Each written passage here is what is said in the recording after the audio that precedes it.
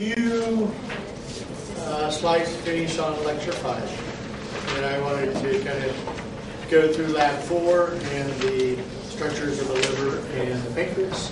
And we could go back to lecture three for a little of that, and we'll be set. So I think last time I recall from yesterday, then we had just talked about transamination, and deamination, right? Yeah. That's what I thought. All right.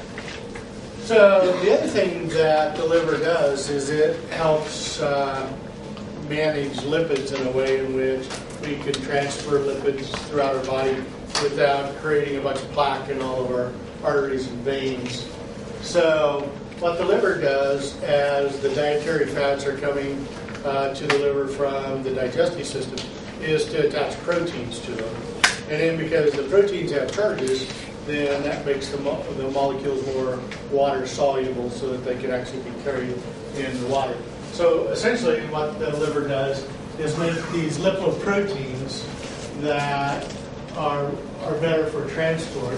And then the way we have classified them is we look at how much protein is actually been combined with the liver. And so we use high density, low density, and very low density to, to look at that relationship. So high density lipoproteins, which would be HDLs, are, are fats that are, uh, have quite a bit of protein to them, so they're the most water soluble.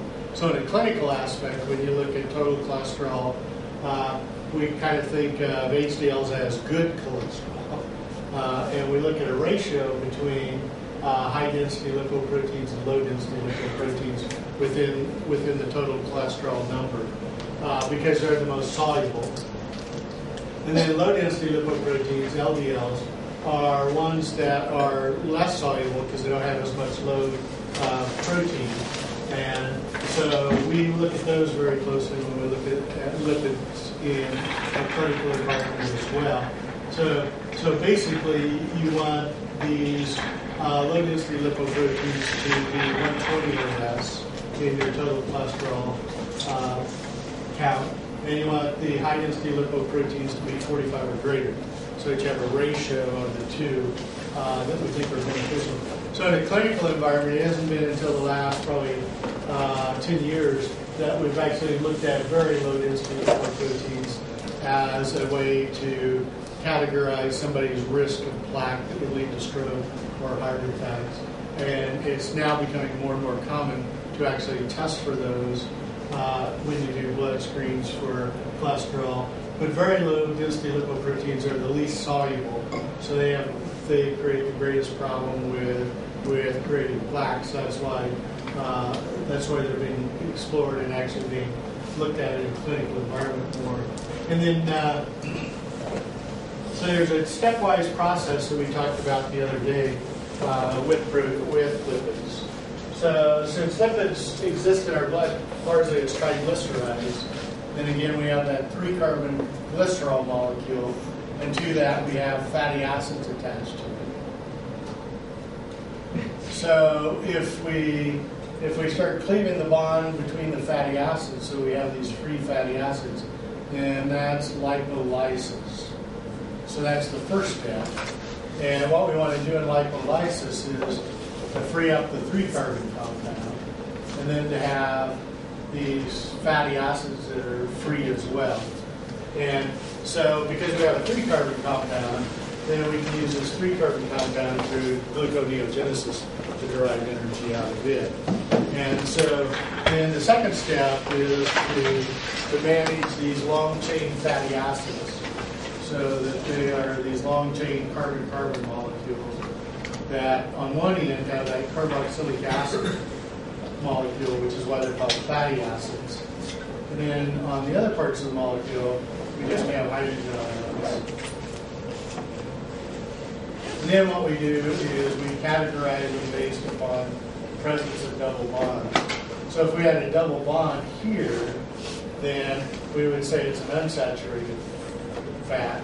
If there is no double bond in the molecule, we'd say it is a saturated fat. And then if we only have a single double bond, then it's a monounsaturated fat.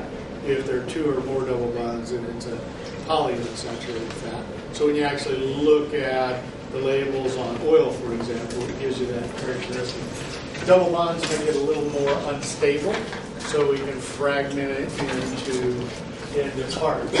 The, the next step is actually beta oxidation. So in beta oxidation, what we're going to do is we're going to cleave the bond between every two carbon molecules. So we end up with these two carbon fragments. So remember, acetyl-CoA is a two carbon molecule.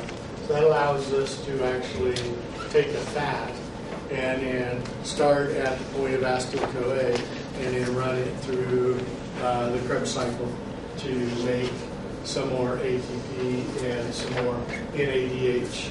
Okay? So if you think about it, then what we did yesterday is we kind of looked at the math of that. So what we what we said was from the process of glycolysis, we actually got two ATP directly, and then we made two NADHs that we could make ATP from an electron transfer system. And then in the conversion of pyruvic acid to to acetyl-CoA, we didn't make any ATP directly, but we made two NADHs that accounted for six ATP. So since we're actually starting with these carbon molecules after these two steps, then we can actually generate the two ATP directly from uh, from the Krebs cycle, and then we can create the six NADHs that'll account for 18 ATP, and the two FADHs that'll account for four. For every two carbon molecule that you can generate from a, a, a fatty acid. So that's why we actually do lipogenesis to store energy long term, is we can store so much energy in the molecule that we can recover. So it makes sense. Okay. So, so to make fats, there is lipogenesis, and that's the formation of fats from non-fats. So our classic example was would be if we have abundant carbohydrates, then we're going to do lipogenesis with the carbohydrates to make fats, and then that's our long-term storage. Uh, and we do it because we can recover so much energy out of it by doing beta oxidation uh, of the fat molecules themselves. So this is just kind of a, a flow chart of what we were just talking about. So, so in essence, what the dietary fats do that are coming from uh, our intestine is our liver begins to process them. And so the liver makes cholesterol, and we, we absorb cholesterol from particularly animal material that we ingest. So one of the things the liver has to do is kind of manage cholesterol. So it can, it can take cholesterol and convert it to lipoproteins and then transport those to cells, or it can get rid of ex, excess cholesterol. So remember, one of the one of the products in bile is cholesterol. So the liver uses bile to get rid of extra cholesterol. And then what we talked about with bile salts, remember, is that if you have excessive cholesterol in bile, it'll begin to crystallize out with the salts, and that's what that's what forms gallstones. So then, what you're going to do then is to convert part of it to these high density lipoproteins, uh, and then we can circulate those in our blood. All right, and we could also convert it to uh, low density lipoproteins, and then that's the product that cells use to make membranes and stuff. So that's why you don't want zero uh, cholesterol in your blood because what we want to do is make membranes. And then all the lipid-based hormones uh, require a cholesterol molecule to make those. So endocrine organs that produce lipid-based hormones like testosterone, estrogen, progesterone, uh, all need cholesterol to make those.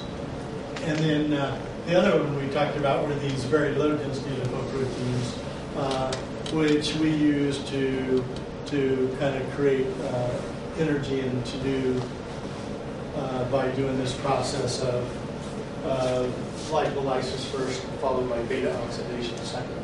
So that's kind of the role of all those uh, lipoproteins in our metabolic processes. So what I want to do is I want to use this chart kind of to review a bunch of stuff we talked about yesterday. So remember last time, the chart that was similar to this, the digestive system was at the center, and the large and small intestines were at the center of the, the blood vessel circle. And what we said was that was the absorptive phase. So that was the phase after we had been doing digestion. We were bringing products into our blood, and then we were going to manage those nutrients and energy sources. So, because the liver is at the center of this one, what we're now looking at is a fasting stage, or what we would call a post-absorptive stage, where you've actually absorbed all the nutrients and it's been a period of time since you acquired new nutrients, so blood levels are dropping in the blood. So what we're going to do is look at the processes by which we can return blood levels in our in our blood to to the levels that we need to to maintain. So the liver is critically important to to that, uh, and so if we if we start at the starvation here, so you kind of know that. Then the brain is a key player in using ATP. It, it is probably the organ that uses the most ATP in your body, is your brain. So it's, it's great at taking glucose and making ATP out of it. So what would this process be? Glycolysis and cellular respiration. But what the brain is not very good at is only doing glycolysis and only generating the 2 ATP per glucose molecule. Uh, so it's a high user of O2 as well. So it's one of the, it with skeletal muscle are probably the two organs that are the biggest consumers of, of O2 because it specializes in making ATP through the Krebs cycle and, and electron transport through mitochondria. So it can generate 38 ATP per glucose molecule. Okay. So if we look at skeletal muscle, then if we're in a fasting or starving state and blood sugar levels have dropped significantly, then one of the things that we can use to generate ATP is protein. So that's what we see in, in populations of people that are actually malnourished and starving, or people that have an eating disorder like anorexia.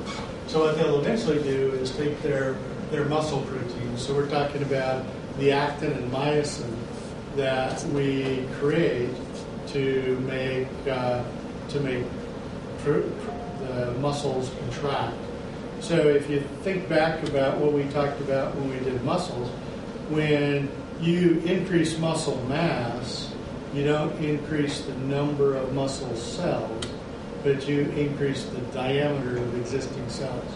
So the way you increase muscle mass once you've reached your adult stature is to actually add more actin and myosin and add more myofibrils to the inside of a muscle cell.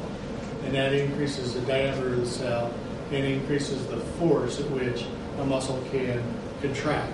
So the inverse is true in, in fast in starving.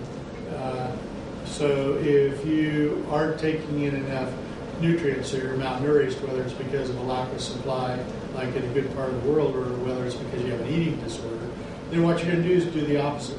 You're actually going to start taking the actin apart and taking myofibrils apart and begin to get the muscle cells smaller and smaller and smaller and smaller. So that's why when people are starving, the muscle mass of the arms and legs looks dinky compared to the average person. And so what you're actually doing is you're taking apart those those muscle proteins, actin and myosin, and generating amino acids. Will it eventually destroy the cell itself? Uh, eventually, yeah. Okay. So, but usually you die. Uh, usually anorexics die from. Uh, uh what you also do is start taking other. Uh, you make other organs smaller. So usually what happens is once you've taken most of your skeletal muscle mass, you have to retain some so you can still move around. So then you'll start doing the same thing to myocardium. So you'll start uh, taking myofibrils out of uh, skeletal cardiac muscle. And so one of the common reasons why uh, anorexics uh, die is from cardiac dysfunction over time. So So then what we're going to do is we're going to put the amino acids in the blood.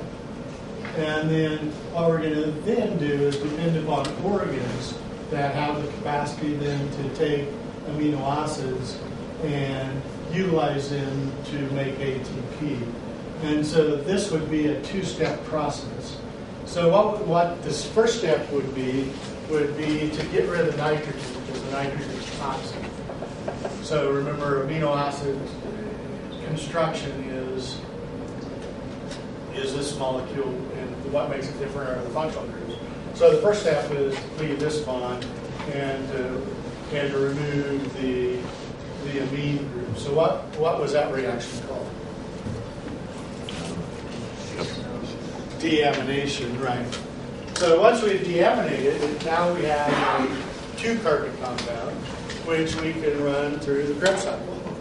At the same starting point, we could run these two-carbon compounds. So if we're taking a non-sugar and we're making ATP out of it uh, in, our, in our sugar metabolism, then that, that is called gluconeogenesis. So when we're looking at seven, you just have to realize that there's actually two components to this process. One is you have to deaminate first, because nitrogen is toxic, and then you do gluconeogenesis, so you generate ATP out of it. And then notice that other tissues, uh, there's a couple other tissues that can do that as well. So that would be something we would do after we've done quite a bit of, after we've used up most of other ready resources. So the starting point would actually be with glycogen, which is our short-term storage for sugar. So our liver and our skeletal muscle is where we store, store the most glycogen.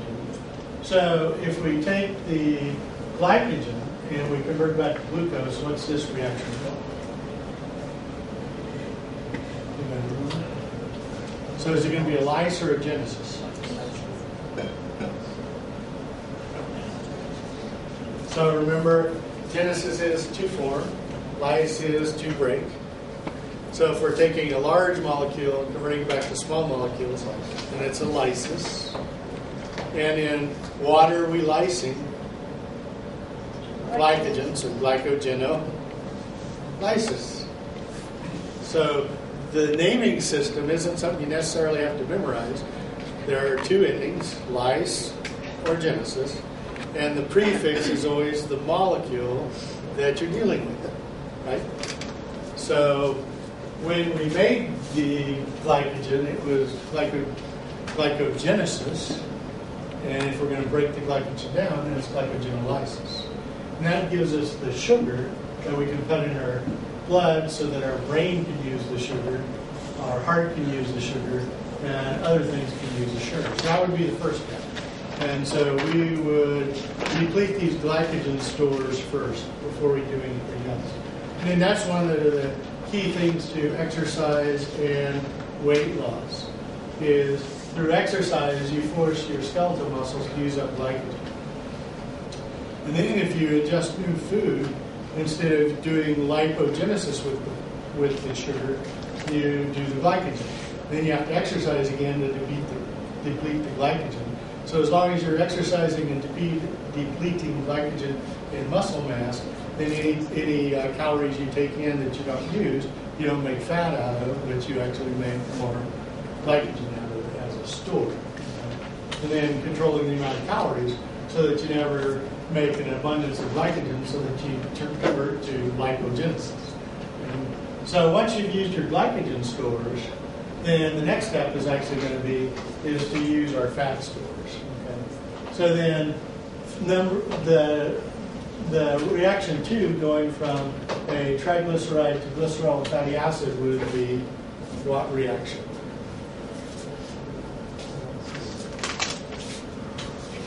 Lipolysis, right? Because we're going for a large molecule to four small molecules, three fatty acids and one glycerol. What are we breaking down? Fat, so lipolysis. And Then once we have freed up our free fatty acids, then we can send those fatty acids in our blood to places where they can be used. So notice our heart could use fatty acids to make ATP, Other tissues can use fatty acids to make ATP. Our liver can use fatty acids to make ATP. So if we're using fatty acids to make ATP, what was that reaction? So it's the same reaction we did right here, which was beta oxidation of fats, right? So anytime we see fatty acids to ATP, we're going to take the fatty acid molecule, cleave it every two bonds, so that we get a, a acetyl compound that we can run through the Krebs cycle and oxidative phosphorylation. So one of the dilemmas with with doing excessive amounts of, of beta oxidation of fats is that we don't use all of those two carbon compounds to make ATP, but some of the two carbon compounds get converted to uh, compounds we call ketones. And then ketones have really a unique uh, smell to them. So if you have if you had a patient who's a diabetic and they're an insulin dependent diabetic, so a type 1 diabetic, and they are not managing their insulin at all so that they're managing their blood sugar and insulin, then what will happen over time is they'll be forced into beta oxidation of fats. And as they do a lot of beta oxidation of fats, then they'll create ketone bodies. And as they create ketone bodies, their breath becomes sweet smelling, kind of like uh, juicy fruit gum, and their urine will become real sweet smelling uh, like juicy fruit gum. And that just tells you, and it, so it would occur in starvation, and it would occur in, in like diabetes where they're not controlled at all. And then that tells you they're doing a triplet of beta oxidation fats uh, because they have these ketones.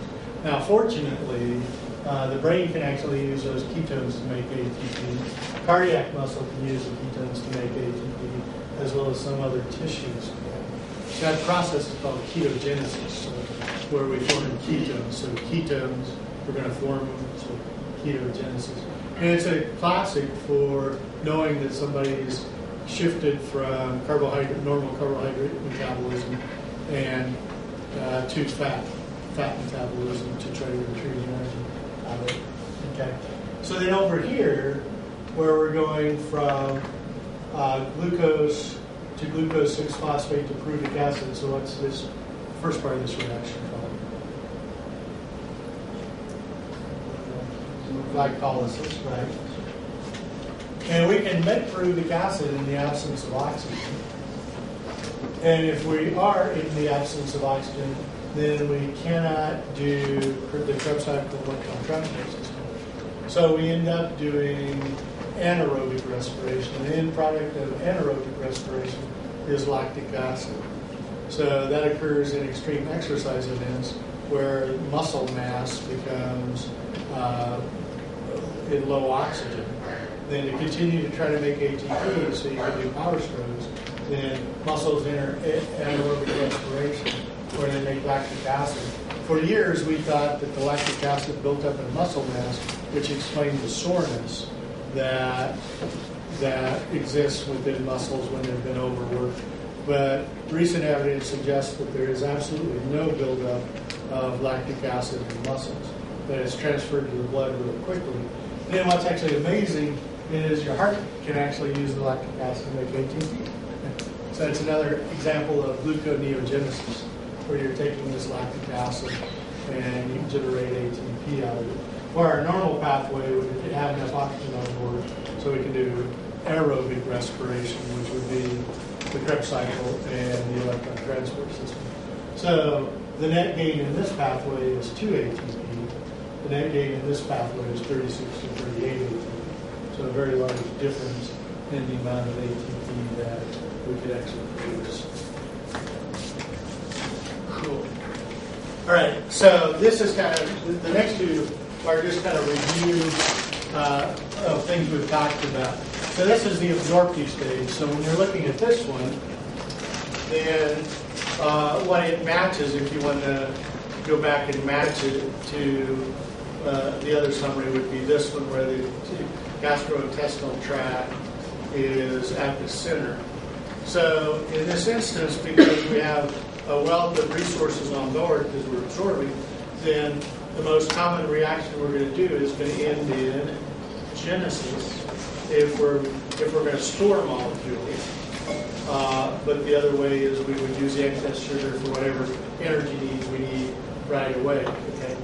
So when you're comparing those two, then what you're gonna see is that, is that we have nutrients being absorbed into the blood in forms of glucose, amino acids, and lipids. And then what we're going to do is we're going to try to, to take the glucose. So the, the standard thing we would do is use it to make ATP.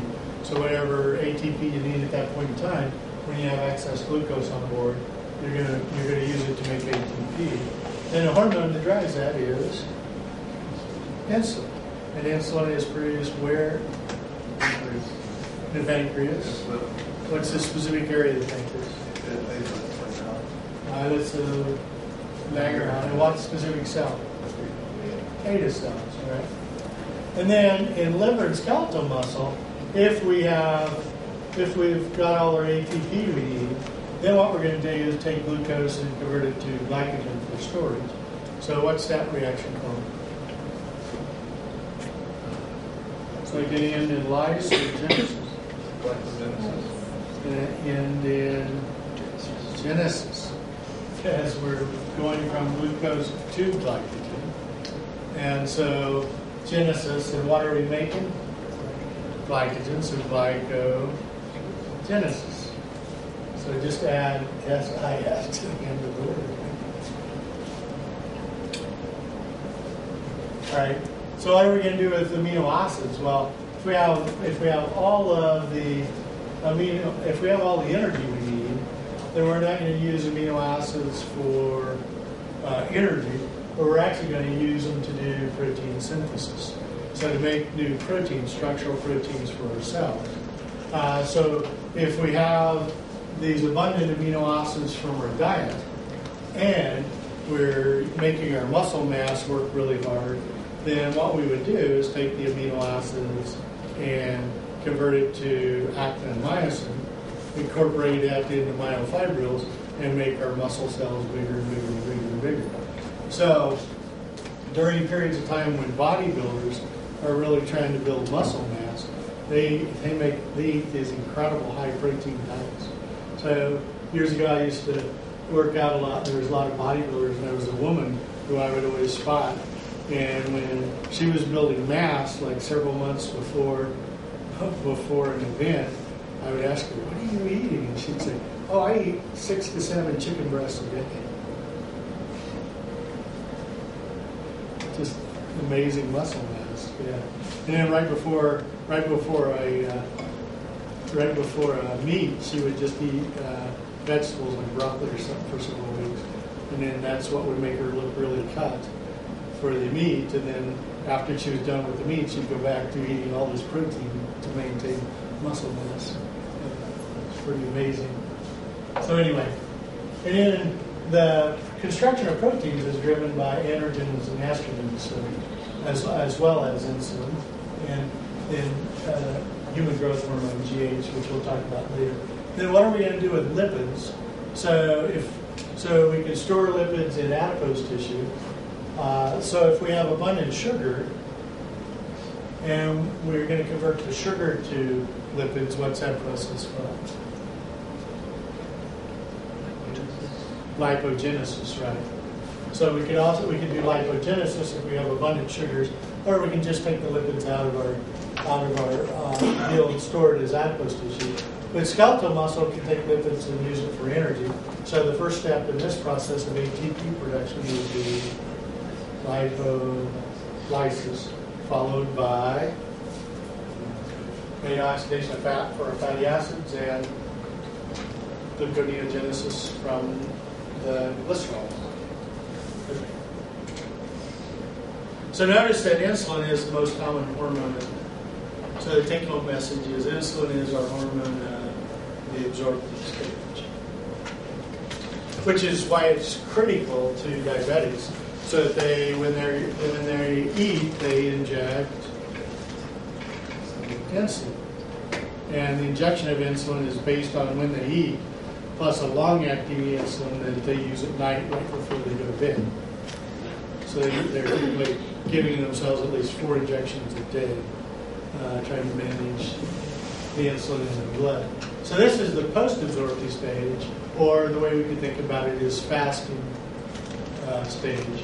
So now we're going to go from having abundant resources in our blood to having low low levels of resources in our blood. So what we want to do is pull the resources out of storage to return them back to our blood so we can continue to do the process of making the energy to, to run our body's uh, equipment. So, so notice that glucagon, glucagon are the hormones that we have talked about. Glucagon and glucagon are the hormones that we're seeing over here. Uh, and then glucocorticoids are, are compounds released by the adrenal gland that sits on top of the kidney. And they're very important to carbohydrate metabolism as well. But we're going to talk about those when we get to the endocrine system. So the one we've talked about is glucagon, which is produced by what cells? Alpha cells. And where are those alpha cells from? Pancreas. The pancreas. And where specifically in the pancreas? Islets and Langerhans, right? So if you're in a post-absorptive stage, then what you're going to do is begin to break down the storage molecules and convert them back to our small molecules so that we can actually begin to uh, provide resources for ourselves. So if we're talking about glucose, then we would be in a, we would start this process in a state of hyperglycemia or hypoglycemia if we're in a post-absorptive stage.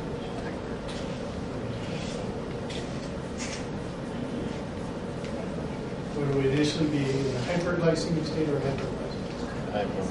We'd be in a hypoglycemic state because we've been we've been fasting and we've used up all the blood sugar. So now what we have to do is try to recover our blood sugar. So that's when kids get really cranky. Babies start crying because they want to feed because they're in a hypoglycemic state. Some adults get really cranky when they enter a state of hypoglycemia. When I exercise with my wife, I, I move away from her when she gets into state. She gets really cranky. So what we would want to do is break down our glycogen stores first. So that would be glycogenolysis. That would recover glucose. So once we've broken down our glycogen stores, then we could begin to make new sugars from other sources, which would be gluconeogenesis. The end product is glucose, which is our favorite way to make ATP. All right. So remember, if we've used up all of these sugars and they're gone, then we're going to begin to break down fats. Uh, and so, what do we call the breakdown of fats over here to make ATP? So the first step, lipolysis. The second step, oxidation, plus gluconeogenesis. gluconeogenesis. And then that allows us to make more ATP from our fat molecules. But as we shift from this passive, passive carbohydrate metabolism to our fat metabolism, then we're going to end up also forming ketones. That was called ketogenesis. And then some tissues, like the brain and the heart, can actually use ketones as an energy source as well, to make uh, ATP. And so the pattern we use is, is our, our quick energy stores are sugars, our secondary energy stores are fat.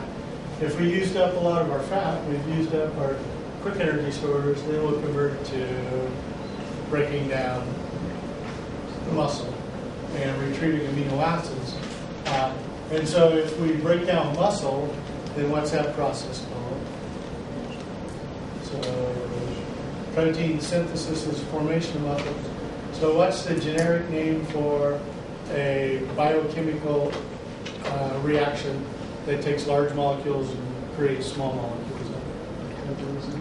Catabolism. So then if we break down proteins, it's protein catabolism. Right. So then we get free amino acids.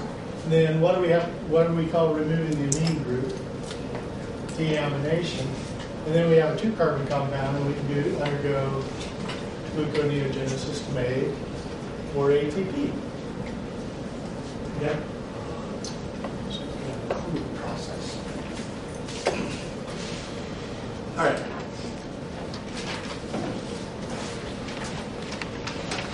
So what we want to do in lab today is we want to we want to look at uh, the structure of the liver and pancreas. And then uh, the lecture that we've done related to that was uh, actually looking at uh, the liver itself. And we've actually talked about some of its mechanism. So I just wanted to kind of review some anatomy with you. uh, and then uh, use this plus models and then talk about, and then review some things we were just talking about the liver does in terms of reactions. So when we look at the liver, then the liver itself is divisible into